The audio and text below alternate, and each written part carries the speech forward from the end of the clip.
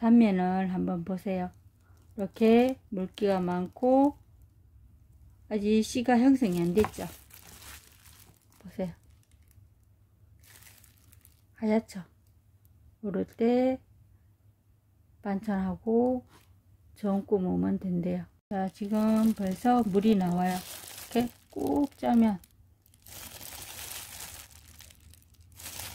꾹 짰을 경우에 맨손을 하지 마세요. 꾹 짰을 경우에 이렇게 물이 많이 나와요. 물 나오는 거 보이죠? 이렇게 부드럽게 이런 경우는 물이 많아요. 연하고 이렇게 물이 형성되는 게 보이죠? 꾹 이렇게 이렇게 물이 많이 이렇게 나와요. 연한 거는 이해되죠? 연하면 이렇게 부드럽고 물이 많이 나와요. 이해됩니까? 속이 아주 연해요. 크기는 작은데 이 수세미가 지금 제일 말하자면 벌써 딱딱하게 씨가 다 생겼을 정도로의 상태예요. 눌러도 이렇게 안 되고 제일 어, 나이가 많다고 보면 되죠. 이게 잘라보면 잘 잘라지지도 않아요. 칼이 잘 안 들어가죠. 자, 보세요.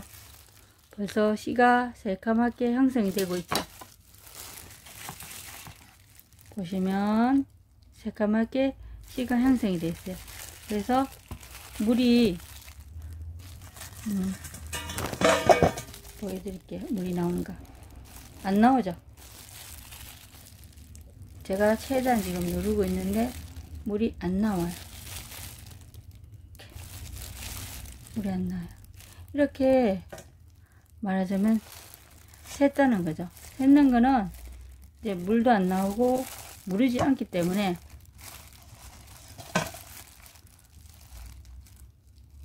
이거는 아무도 쓴맛 쓴맛이 많이 나요. 이렇게 나이 들었는 건 나이 들었는 거는 보면 쓴맛이 많이 나요. 끝이 벌써 딱딱해졌죠 벌써. 끝이 딱딱하면서 안에는 벌써 씨가 새카매지고 씨들이 새카매지고 있죠 형성이 다 돼서. 그러면 이거는